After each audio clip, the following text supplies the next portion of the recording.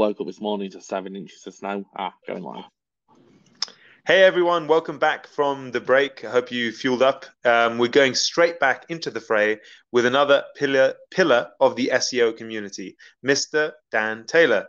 Dan is the edgy expert of Edge CDNs. He's the winner of, of the inaugural Tech SEO Boost Research Prize, and he's consulted for Cloudflare, GitLab, Proton, and many others. Dan's a regular speaker at Brighton SEO, if you know that one, Tech SEO Boost, and Optimization, which is held in Moscow.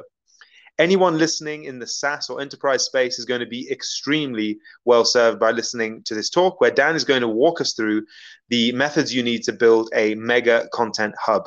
The same methods that he's used to build a 1 million organic sessions per month SEO moat for a large SaaS company. So, Dan, everyone has been waiting for this one in anticipation. Thanks for being here, and it's over to you. Uh, thank you for the introduction, Marina. I hope I can live up to the uh, the introduction. So let me just share my screen and my slides. So hello everyone. Um, I hope everyone is enjoying day two thus far. Uh, as, Larry has alluded to, my name is Dan Taylor. I'm going to be talking about building mega 1 million session content hubs and kind of the methodologies behind that. So, as Larry's already given me a great introduction, there's not really much else I can add to that. Um, apart from I'm just in general an SEO nerd, an SEO speaker, and importantly, a cat dad.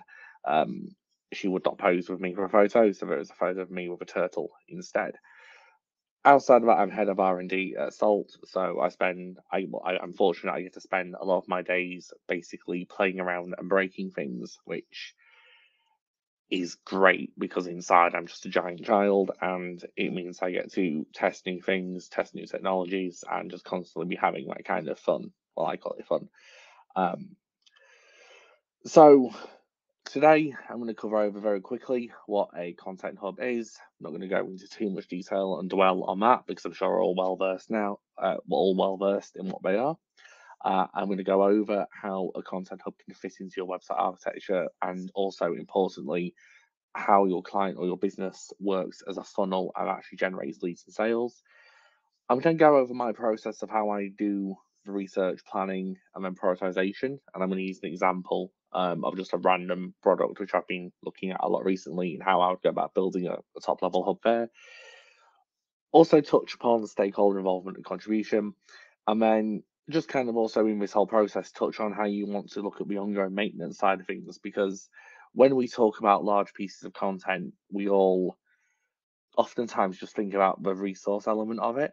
And we know that producing anything evergreen will require maintenance, will require pruning, just the general kind of upkeep that we were saying, but how we can potentially look at in different ways. So, wouldn't be an SEO talk without starting off with a graph. So, here is the graph. I took this from a third party tool. Uh, the website in question was live since 2012, but I've cut that part out of the graph. But the essentially the hub we launched towards the end of 2017 and it peaked around about a year ago in terms of traffic the reason for the drop, which I'm actually going to talk about because I also feel it's important that as an SEO we talk about why the traffic decreased. Simply put, they removed all the internal linking for the hub from their top navigation, and that correlated with a large drop in the actual organic traffic being received. So that's the reason why that cliff face happened. One other thing I want to touch on with this is content hubs like this aren't necessarily quick wins. They require an element of research, they require resource in producing the content through prioritization. And as that graph kind of demonstrated above, it also requires time. Google doesn't take these hubs straight away and rank them on page one. It likes to do a lot of testing with edge queries. It likes to do testing with the big search volume marquee keywords. It does take time for Google to process. This time will vary depending on the different industries, but it is a key thing to put in play because I see a lot of people do these hubs, they push the boat out, and because they're not sailing at full speed and doing a good knottage straight away, they lose kind of faith in the tactic and in the acquisition element. So, touching on what a content hub actually is, a content hub goes by a number of different names and in our industry has gone by a number of different diagrams. These are the three I see probably more common, the kind of a bubbly diagram around top topics, secondary topics and how they overlap. There's the pillar and cluster element, which is also known as hub and spoke, um, web content, content network, and then there's my one I prefer to use, which is actually just more of a straightforward hierarchical diagram because it's nice and shows architecture and we can show linking elements. Ultimately, though, regardless of what the name of the moat, the hub, the silo, the pillar, the spoke, the cluster, whatever we want to call it, the objectives are the same. We want to acquire users and we want to acquire traffic. I differentiate between the two because for me, users are more qualified than just generic traffic. Traffic is your visibility. Users are the qualified people you want to educate and move down the funnel. We want to build out this content to represent an EAT element. We want to show that we, by producing this heavy resource, our clear expertise in this field. We have got a lot of authority and you should trust us with this content. And that can help and has through what we've seen in rankings for just related queries go to some way in helping build that. We also want to create relevant internal linking hubs. Now, again, when we build out either a centralized or decentralized web architecture, we want to make sure we get all the commercial keywords maps, all the non all the uh, informational, all the navigationals, transactionals, but we want to make sure we get some good internal linking moving. And oftentimes, getting those anchor texts isn't easy or natural on a site producing giant content hubs like this enables you to get that nice link flow and anchor text link flow happening through the site relatively easily. And then also there's the element that these these resources do acquire backlinks if they're good enough and authoritative enough over time and backlinks and therefore bad things work naturally. So we're going to look at how to incorporate this into the site and really the, the objective kind of matches the placement. When we think about the hub, we also have to think about the website architecture, the CMSs, different elements, how we're actually going to apply this. Oftentimes, and more often than not, being honest, I recommend this is separate from the blog.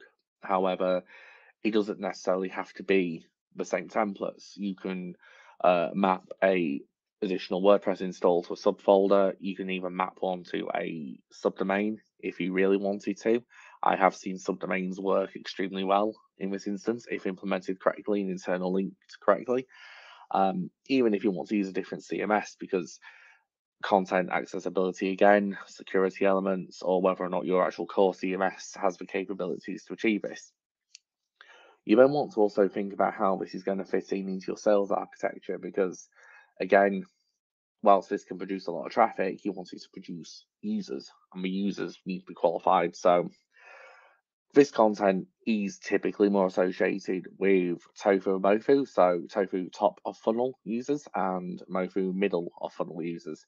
So we can speak the sales language and say it's that top visibility education level pieces. And then understanding what the motivation of those users are it depends also where we can potentially place this on the site in our URL architectures, in our information architectures, and how we map all that together. So the other thing important to say is there is more than one type of content hub, and it's important early on to decide the one which we're going to build and then stick with it because we don't want to cross the streams, quote Ghostbusters in that sense.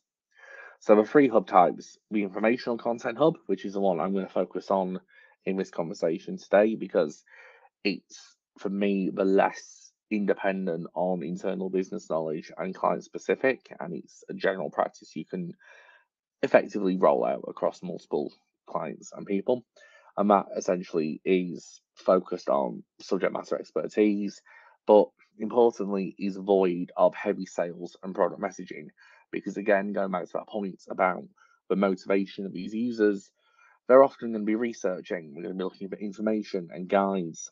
It's about understanding that time to sell and the time to be commercial and how that can disrupt a user journey and even turn them off from wanting to proceed with a company and brand. The second kind of hub is a project knowledge base. Um, And a good example of this is a knowledge base that Atlassian produced a couple of years ago. And this essentially is a conversation I have with a lot of companies, especially in the SaaS tech, um, even fashion and retail spaces, where if someone has a question about your product or a specific use case or how to use something, who do you want to rank? Who do you want to give that information? Do you want it to be you, where you can control that conversation, specifically around SaaS and integration products? Or do you want it to be someone with an opinion on Stack Overflow or Quora? And that can lead to misinformation, it can lead to misforecasting, and then the user could potentially just be left dissatisfied with your product or just get the wrong information. And again, it's the internet. People will influence places that rank with information for their own need.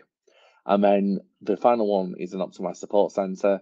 So optimized support centers for me are very good again. It's a it's an extension of a product knowledge base. And again, it's the taking of going to all your sales development representatives, all your customer success teams, take all their weird edge questions and edge queries and everything which could be answered in 25 to 50 words potentially and just create support articles on your support base for it and really optimize your support center as a content hub.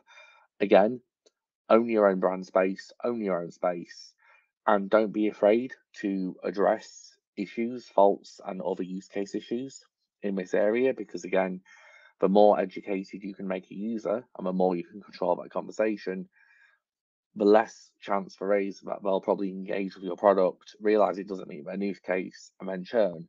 So that's low LTV, high cost per acquisition, and just high churn rates, which will affect your MRR and ARR statistics. So when we look at the website architecture again, the decision of where you're going to put these hubs is going to pretty much be led by your existing stacking processes. Um, typically, it'll be a subfolder on the domain. Depending on what you're currently running, you might reverse proxy WordPress, reverse proxy Ghost, any other CMS system in there, a nice front end. Um, you might even run something headless, um, like Next on the WordPress, and just have it run there. Um, if you really were stuck, you could run it on a subdomain they can work effectively and do work effectively. Um, but it, obviously, there's the subfolder subdomain debate, which there's only 32 minutes left of this talk. I don't think I can even scratch the surface on that monstrosity. Um, and then my only other point is it should definitely be separate from a blog. It's a different content type, and we mm. want it to be a special resource area, and not bundled in with the five big five contents, your comparison pieces, your company news. It wants to have that separate area. It wants that separate piece of information architecture. In my opinion, I almost treat it like a microsite within the site itself. It needs and warrants have special treatment. So the challenge is essentially being this open in the content and open in the business that I basically get a lot, and these will probably be challenges and friction points that you find when you're trying to sell this idea and with people as well and clients is a lot of the conversations and advice pieces you're going to be putting in these areas very traditional business models with very traditional sales models feel that the conversation is better had by them the conversation is better served by the sales team lots of traditional business models also see the sales process as being the place to do the education. It's about creating the rapport and the trust, and also the upsell cross sell area where your the user comes in doesn't 100% know what they want, so you're doing that steering and that guidance, and then they overvalue the human element in that process. And the reason I say that overvalue the human element in that process is just anecdotally from experience and well from reading books other marketers have written have the same experience, but roughly 70% of that buying decision and that buying process from users online is made before the prospect will actually engage with the company in question. So you're hedging your bets on not educating enough in that 70% before they even get in touch. So this is why the hub model creates that trust, creates the build, and obviously, as users online as well, we open multiple tabs. We'll open multiple websites our journeys, uh, sorry, our journeys are not linear. We will skip around, hop around, but we'll bookmark, we'll remember, and we'll start doing searches, and we'll start to go back to places that help educate us. And if that information is accurate, that helps build the trust much more than speaking to someone who has a motivation to sell to you. So now, now with that in mind and understanding the objective, I want to start talking about how we plan it and the data sources that we look for. So data sources, as you can imagine, you have Ahrefs, et al, other tools available. And for me, these are an end process for if you need to pull through MSV data, um, some monthly search volume data, any additional keywords, any wider scope. For me, those are an end step in the process. And personally speaking, from building out a lot of these hubs, depending on your niche, a lot of queries and terms you're going to be planning for will have low monthly search volumes. And the reason behind that isn't because people aren't looking, it's because A, your niche, and B, a lot of search volume data is influenced by paid search. Paid search is heavily influenced on conversion. So these aren't conversion phrases. So the data isn't going to stack up and move in that way. Other things to take into account here, um, mainly not from a question and keyword perspective, but from seeing how Google is making connections between entities, use cases, and perspectives, is through the people also asked features. Uh, tools like Dragon Metrics um, can collate those as part of our own tracking process and standard, and you can also just write a Python script and scrape them as well. Second way of easily getting um, in, well, basically how Google associates elements is through image entity tags. It's quick and easy to do just a search and scroll for images. You can also scrape through Python, and this is also a little glimpse, in my opinion, into MUM, which replaced BERT last year from Google's kind of artificial intelligence and how it maps the relations between different entities together and how it creates understanding. And then, importantly, feedback loops from your SDRs and your general sales teams, customer success teams, anyone who actively is facing the customer at the call face, just to create that value, to get edge perspective, edge use cases, even the weird angles which we might not necessarily have thought of, and the weird angles that definitely won't have come through keyword research tools or Google. So how do we begin? So what what what does this planning process look like? So to do this, I'm literally going to take a random topic. Uh, for some reason, this year I've decided this is the year I'm going to go into the wilderness. Um, probably watch too many YouTube videos on bushcraft and wild camping, but I've been researching a lot around hiking boots, trail boots, etc. So, what would we look at, and how? What would the process be to start reverse engineering what a hub architecture could be, based on what Google and what third party tools are already kind of showing and pointing us in the direction of as to the information that users want to get and want to achieve from their research. So, first of all, we can take a look at the people also ask boxes and we can go through them, we can scrape them, get all the questions. But then, what we want to do really is start looking for themes and start looking for not necessarily keywords, but the different angles that are going on in here. So we know that people are starting to look for difference between walking and hiking. We're starting to look at the difference between product comparison. So we're already in the first two getting heavy product comparison elements and also that there are related and similar products which may have crossover. The fourth one down gives us an indication there might be three types of boots, and if that's the general information that Google's pulling through, that is potentially also the information users are getting fed and what early educated users will be receiving as well. So that's important because we want to create consistency with this content as well as it being accurate. A good example of this, I think, was in 2016, 2017 when Rand Fishkin, um, alma mater of Moz, did a whiteboard Friday in which he focused on granola bars. And for me, I all the new execs we hire, I make watch that video because it goes to an extent of how whilst Google is machine learning, whilst it has the AI, whilst it can make the connections, it's only intelligent as the data we give it. And in this example of granola bars, he gives uh, that you have 10 product pages, and nine of the 10 product pages talk about the ingredients, allergens, calories, protein, sugar, salt, etc. But on your product page, you don't. You don't display the information in a table like the others do. You talk about the flavors, textures, and other elements as well. But the other pages do that also. So when Google, as a machine, looks at all this information, it identifies consistency. It can identify that, oh, so granola bars, good information, is talking about ingredients, allergens, etc. Why is this page not doing that when all the others are? And then that creates an anomaly in the cohort. And once you have an anomaly in the cohort, that's when the content either is distrusted or potentially doesn't have the same beneficial purpose as what the other content another content producer does.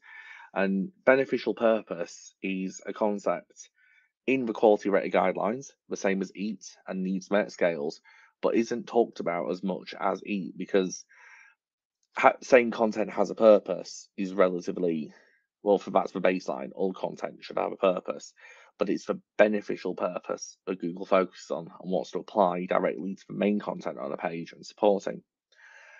So going back to the PAA examples, the next things we get are talking about everyday usage. So this is people necessarily talking just can well, can it be used every day versus specific use types. So then we start breaking into use types, which again shows us the difference between trail and walking. And then we get the waterfall hike and muddy hike. So just from looking at the PAAs immediately, we have different application uses in walking, hiking, trail. We have different uh, scenario uses as well in terrain. So we're automatically getting an insight into the different elements that we probably need to address in this hub. The next thing we want to look at is image entity tags. And image entity tags essentially, for me, are a front end way of very quickly performing entity analysis across Google's understanding of specific topics. So this is a quote from a patent which um, I've listed the patent number in there if you want to really go through and look at it. But essentially, it talks about how Google does association scores and can produce a confidence level depending on the input. So if you've got photos of hiking boots on mountains, it can start to making the connection boot, mountain, rock, tree, boot, mountain, rock, tree, and detection within images within the patents itself, Google actually shows this as an example of bears. So with bears, we have bear, fish, water. We have bear, fish, water, bear, water, bear, fish, bear, water, ice, and bare ground. So then from just these six images, Google can start to create relations and relationship trees on how different entities for bear, fish, water actually interact and based on the actions, i.e., the fish is in the mouth of a bear. So this is where we understand the grizzly bear has a relationship to fish, and then it can also have confidence and infer that it eats it. Fish live in water, grizzly bears by water. And this is how Google goes around processing and focusing on images and transposing entities. We then do an image search and we can actually start to see this ourselves. And at the top of image search itself, you will see that there are a number of tags and you can click on those tags and you can filter by them. Those filter names are almost related categories and related entities that Google understands are related to hiking boots and also has all the data of search behind it of us doing compound searches, us doing search stacking, which uh, search stacking for me is when we will Google um, one query, we'll read results, then we'll refine it and do further refinements until eventually gets that end query. So we're automatically seeing in this, we're automatically understanding the information Google's getting, and with images as well, and the data that Google gets from it, for me, this is also a very pure form of information and a pure form of basically Google's understanding of the internet because 10, 15 years ago, as SEOs, we focused on links, we focused on keyword density, we focused on written text. Images almost just became a aesthetic vehicle to make the page look nice, to encourage conversion, to shine things up a little bit. No one's ever really gone out of the way and gone, I want hiking boots to be associated more with muddy, wet terrains. Let's get more pictures out there. No, we've written content, we've done marketing, we've done PR. Images have just fallen naturally by use cases. And then from there, we can take use case data, and it's a lot, as I said, in my opinion, a lot more pure and untainted by SEOs and marketers. It's more reflective of the real world in that sense. So, themes we can take from the identity tags are there's heavy focus again on use case. So there's waterproofing, submergence, wet grip. There's elements around mud, mud distribution, and aesthetic permanence. So by aesthetic permanence, I mean if I really go through the world's muddy swamp and quagmire, will it basically make them look awful moving forwards, or will they still look good for five years down the line? Then you've got the hiking versus trail versus uh, walking itself. You then move into synthetics versus leather versus Gore-Tex, and other elements like breathability, comfort, temperature control, and then also your terrain mixtures as well. So we're getting all that from images. We can then back this up with keyword research because we've already got a prime data set. So we want to match the objective of Content Hub again. In this instance, it's informational. So we want to demonstrate that we're subject matter experts. We want to focus on questions. We also want to focus on perspectives and scenarios. So by perspectives, I mean it's very easy to just write content based on questions. But in order to show expertise, show authorship, and also demonstrate authorship through author vectors, which we know Google uses to detect the writing styles of authors across different subject matters, that we want the perspectives of this to show opinion. We don't want it to be a blase, here's some keywords on a page, here's an answer of 500 words, let's be lucky. And we also want to focus on scenarios because that is what the end user is doing. And the reason why we want to focus on the scenario is to, at this top of funnel tofu, middle of funnel mofu stage, create better education. And that builds the trust element.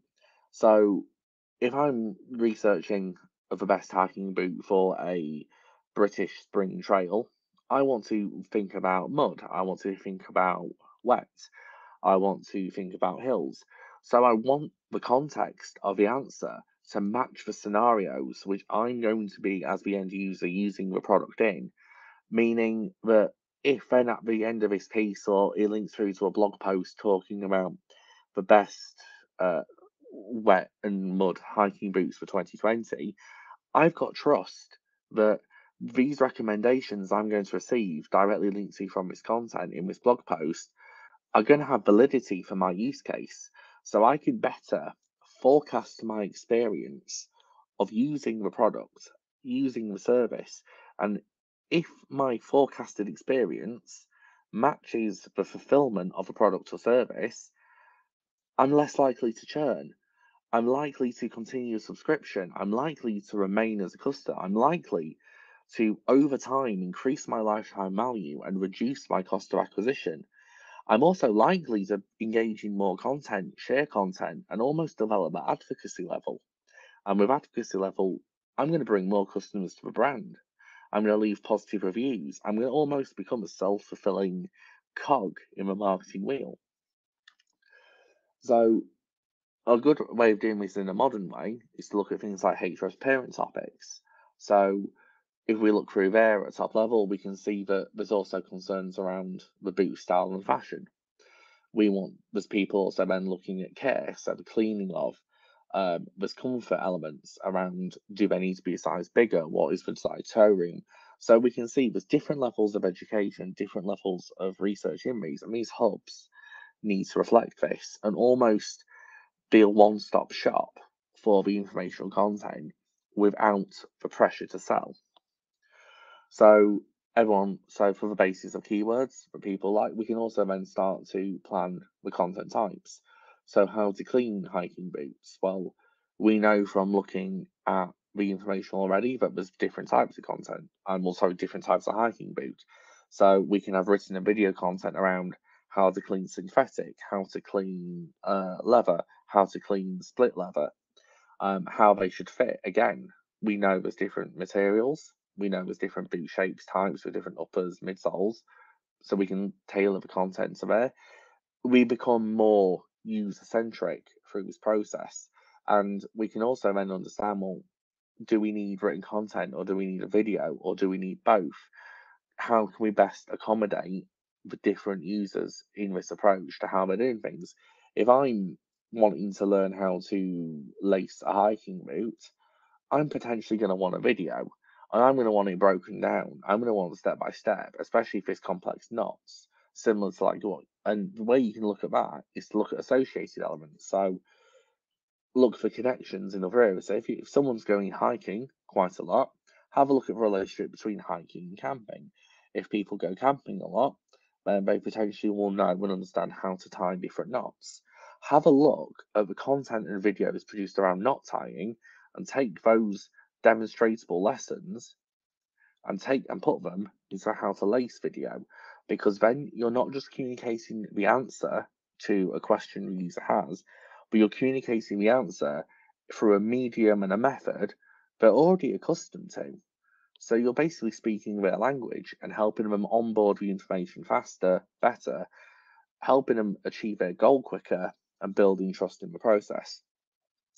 So once we've got all this information, essentially what can we do? We need to plan the hub. And going back to again just doing a straight sitemap diagram, we've created the hub. So the hub for here is owning hiking boots. So then we have the top three categories of choosing, boot care, and comfort. So then through choosing, we're going to talk about the application. We're not going to talk about the, the boot itself, we're going to talk about the user focused end of it. So the application, are they going to be in snow? Are they going to be doing a lot of mountain and rugged terrain? Are they going to be doing trails? Is there going to be water?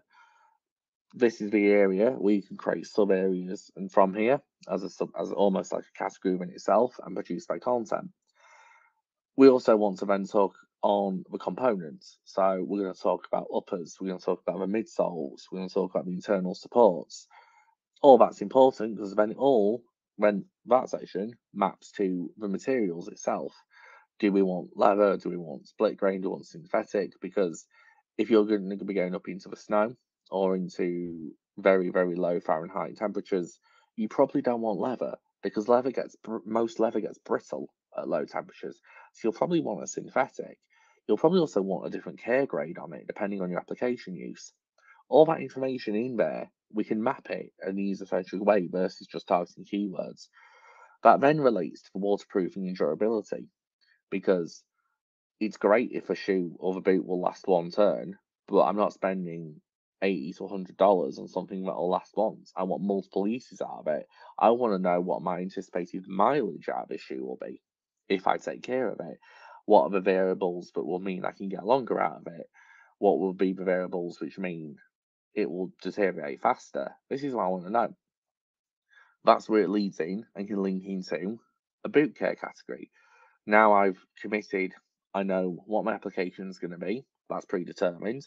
I've now got an idea based on my body shape, body height, and general comfort level, what I want the components to look like and the kind of style.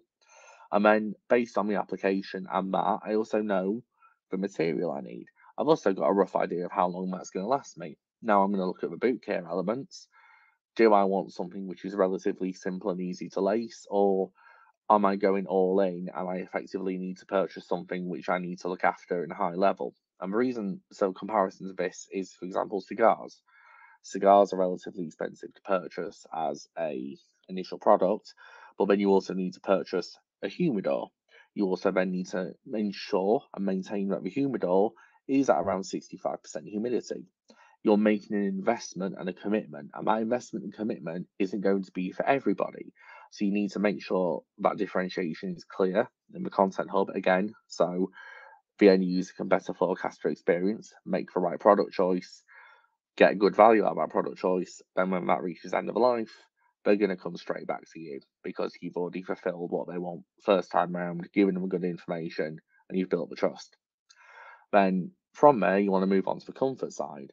And this addresses the actual user focused things itself. And this is where there'll be no direct answer other than multiple variables. But you want to then talk about the size buying guide for wide feet, flat feet, narrow feet, high and sole arch.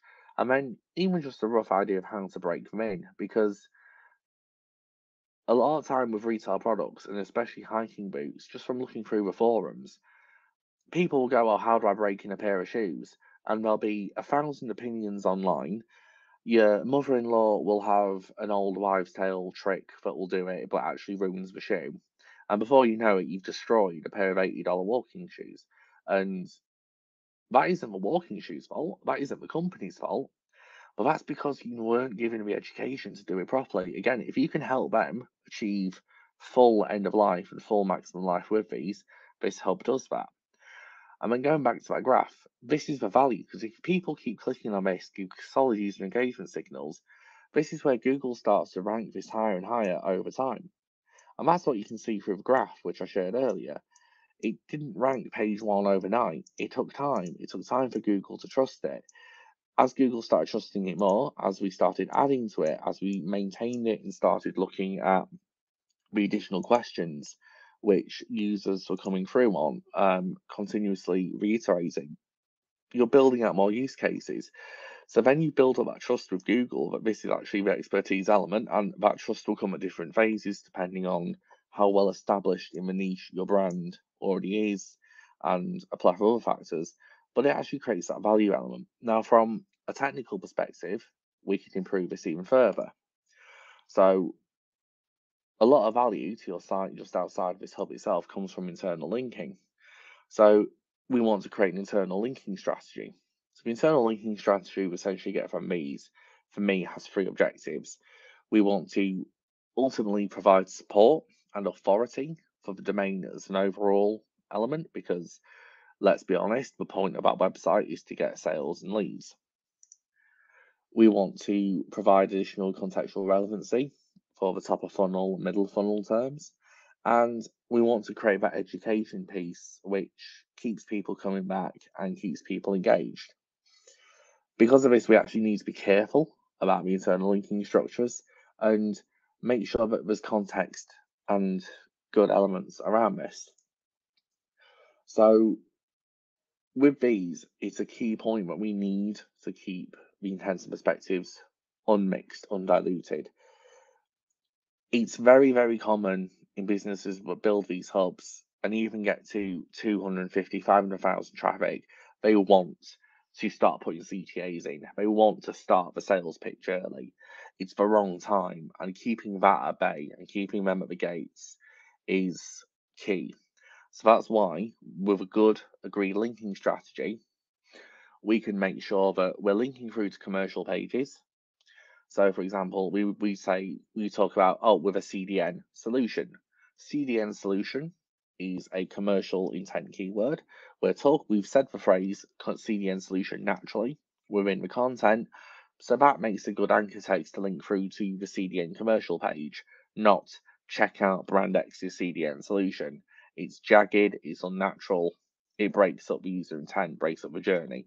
We also want to be natural and put the links in at appropriate junctures in the content and not just shoehorning in random links up a page or big CTAs, etc., which again just tries to piggyback off of traffic for sales. And understanding the commercial transactional intent, we want to make sure that if we're linking through to commercial pages from these, we're using those commercial transactional navigational intent queries. So we're giving Google clear signals that here's some information and here's to go for commercial. And then a final, or the final points I wanted to cover, because I appreciate and push for time, is to look at templated linking. And that is essentially, we can make these work harder. So secondary navigation menus, localized to hub templates, related content sections, linking through to key parts of the hub, internal body links between the hubs themselves. And another tactic which I found useful is creating a footer just for those hub templates, which acts as a pseudo HTML sitemap for that specific area in the hub just to help boost internal linking. Um, so I want to say thank you for the 150 plus people who've been in attendance, and I think this is the first presentation I've ever done that's actually run to time. Um, so back over to Larry to host the Q and A.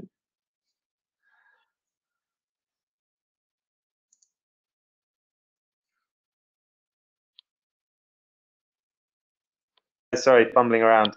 Thanks so much for that. That was really, really great. Um, I really enjoyed that, uh, that that that chat, Dan. Um, and I think everyone got a lot of really practical um, uh, kind of strategies out of that. So what I'm going to do is I'm going to quickly jump over to the uh, Q and A to see what we've got there.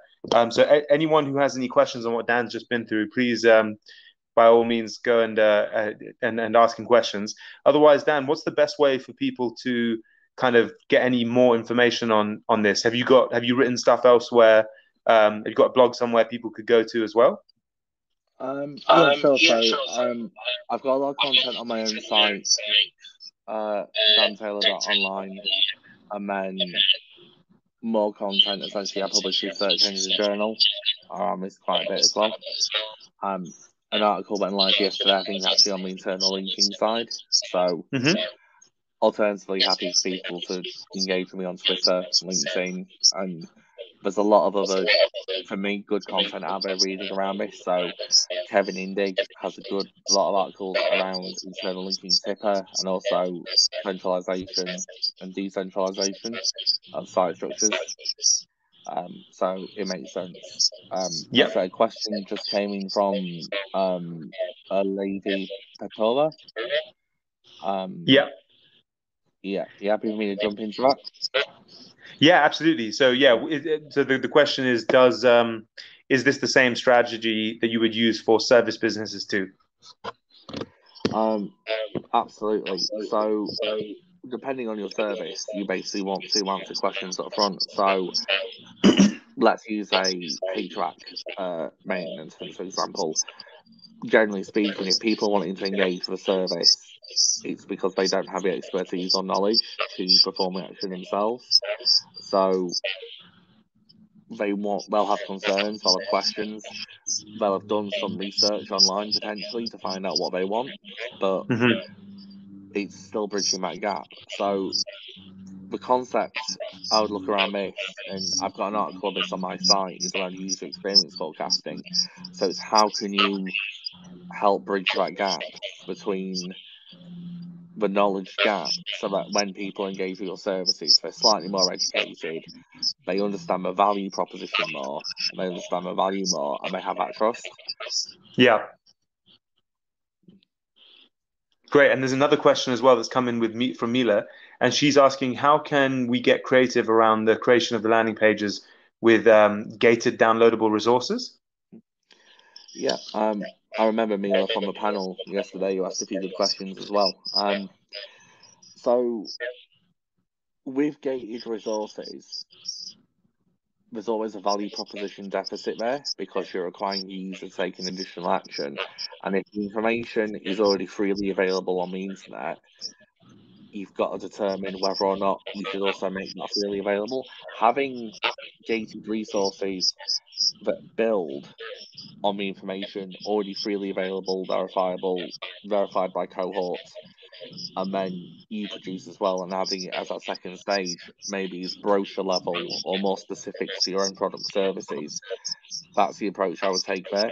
Whereas if you're just going to take this large hub or even like white paper it, we need to understand what the for me the difference is between the value for white paper brings because we know the white paper will get the email, it will get the telephone number, it will create a potential lead for sales to follow up. But you need to add an extra value proposition for someone to do to download that. And if it's just going to reiterate what's already out there on the internet, there is no value proposition, and it's just a turn off from someone actually wanting to engage in that initial instance. So I'd use the hubs, build that trust element first, and then once you've got the trust element, then at the end of them say, oh, to find out how this can be more specific to, I don't using my hiking boots, for example, um, if you want our in-depth guide on hiking through, I don't know, a Canadian outback in minus 37 Fahrenheit or something like that, then that's an added value proposition and personalized tailored to what necessarily isn't available on the internet. Great, thanks for thanks for the answer. Well, actually, that just wraps us up to exactly the end of the the talk at 0.00. Um, so everyone, I hope you can um, also just join me in thanking Dan for um, for for going through a very detailed um, presentation there. That um, that that also just to, I keep reminding people you can download these PDFs. You can message Dan in the um, in the Pine tool if you have any other questions, and see him on uh, like he said Twitter and LinkedIn, and uh, and also his website. So do make sure you you look for those links, and especially while people are still at conference, you know everyone's uh, really active, sharing information. Now's the kind of time to do that. Um, but cool. Well, so we'll leave it there. Thank you, Dan, and uh, see you around at the rest of the conference. No, thank you, Larry, and thank you everyone for sticking with me. Cheers.